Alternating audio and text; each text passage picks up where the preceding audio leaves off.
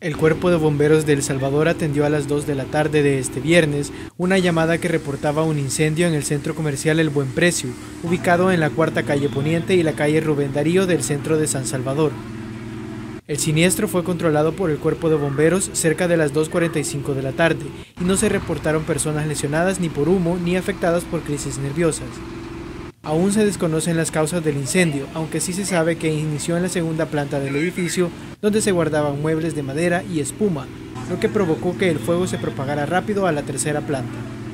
Con imágenes y reporte de Jonathan Funes, este es un informe de la prensagráfica.com.